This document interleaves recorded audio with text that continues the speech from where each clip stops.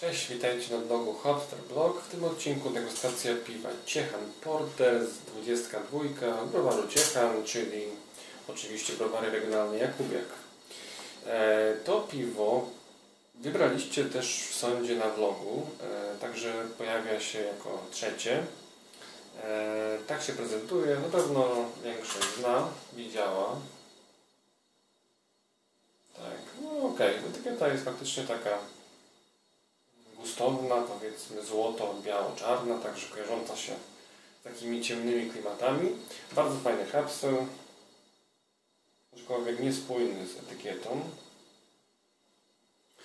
E, co ciekawe, to piwo zostało już wyleżakowane rok. Nie wiem, czy to dużo, czy mało. Dla niektórych piw jest to wystarczająco, dla niektórych za mało, niektórych za długo.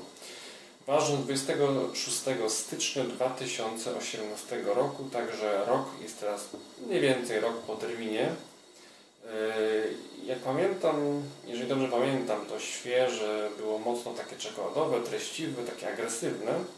Yy, a ciekaw jestem właśnie, co się stało teraz. Czy, czy zostało tak fajnie utlenione jakąś śliwką, wiśnią, rodzynkami, winem? Zobaczymy, zobaczymy, co tu się wydarzyło. Mam nadzieję, że że już zaszły jakieś tam dobre zmiany i że w ogóle zmiany są dobre, ale no, tak słyszałem, że, że warto. Yy, alkohol 9% i ekstrakt 22%. Woda sód jęczmienny, karmelowy, monachijski barwiący, chmiel pasteryzowany. Koniec. No to jedziemy. Jedziemy z tym ciechanem. No. O. Syknięcie tak, tutaj się troszeczkę, o, delikatny gashing, bardzo delikatny, jak widzicie, wychodzi, ale nie, nie wypłynęło na szczęście, nie było wystrzału. No przelejmy.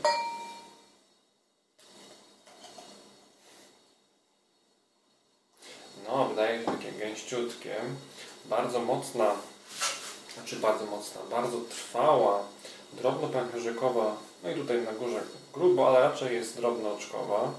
E, taka gęsta, zwarta, ciemny beż, no beżowa, ciemny beż.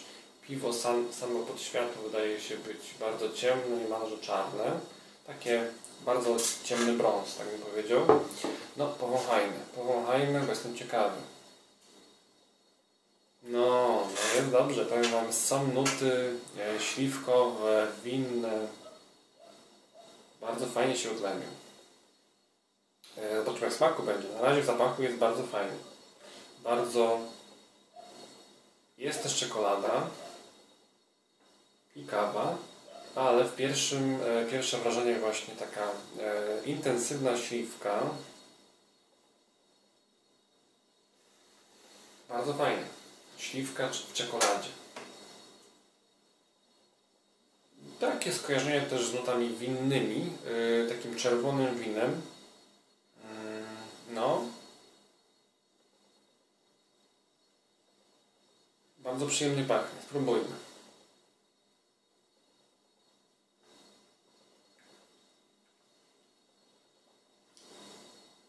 Ha, no jest zupełnie inny. Mam wrażenie, że zupełnie się zmienił. Yy. Ale taka ostra goryczka wciąż została. Ostra goryczka e, kawowa, taka, taka ciemna, mocna kawa na finiszu, bardzo mocna. Chociaż tak może idąca leciutko też zbożową jednak. Jednak zbożową idąca, jednak bardziej tak. Pierwsze wrażenie było takie, że czarna, takie espresso, ale mm, po chwili jednak odczucie jest takie zbożowe bardziej.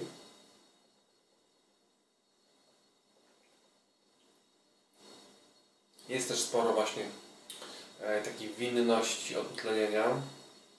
Śliweczka jakaś tam się pojawia. Samo piwo jednak raczej wytrawne. Raczej wytrawne wciąż. E, nie pamiętam, czy ta goryczka była aż taka mocna wtedy. No teraz jest naprawdę konkretna. Taka mocna kawa na finiszu. Taka naprawdę fest. Ale fajnie. Nie ma na szczęście żadnego tutaj e, sosu sojowego, jakichś takich niepokojących nut dziwnych, niepożądanych. Jest dobrze odmieniony porter, muszę powiedzieć. Warto by też yy, sprawdzić, jak smakuje yy, świeży, porównać właśnie do tego wyleżakowanego. No ale ciężko teraz, ciężko mi było mi znaleźć świeżą wersję. Nie wiem, czy w ogóle jeszcze jest na rynku. Jedynie co w tym piwie mm, trochę mi przeszkadza, to nagazowanie. Ciutkę niższe byłoby naprawdę optymalnie albo idealnie wręcz. Troszeczkę tam gdzieś tam gryzie. Nie jest to duży mankament, ale no, muszę do czegoś się doczepić, tak? Żeby nie było, że to piwo idealne. No nie. Zdecydowanie czuć, że jest to port bałtycki, jest takie właśnie sporo owocowości i w aromacie i w smaku. Mm. Ale wciąż taka mocna goryczka. No bardzo mi napasuje. Fajna, fajna jest, przyjemna. Ale no widzicie, jak pięknie oblepia szkło. E, no, warto leżakować tego ciechana. Warto leżakować tego ciechana. Mam nadzieję, że jeszcze da się go gdzieś zdobyć. E, bo zakupiłbym na jeszcze dłuższy leżak. Ciekawe, czy coś jeszcze by się zmieniło po, po dwóch, trzech latach. No, to by było tyle.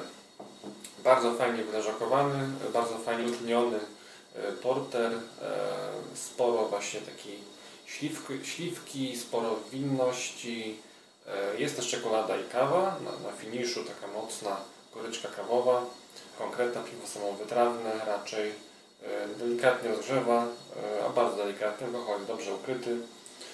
Moja ocena to jest 4,5 na 5. To jest naprawdę bardzo dobra cena, ale piwo też jest bardzo dobre. To by było tyle. Wielkie dzięki, że wydawałeś dajcie w górę i widzimy się niedługo. Cześć. Wyczekujcie i śledźcie blog, wyczekujcie kolejnych degustacji, bo to piwo zaczęło serię e, degustacji porterów. Cześć.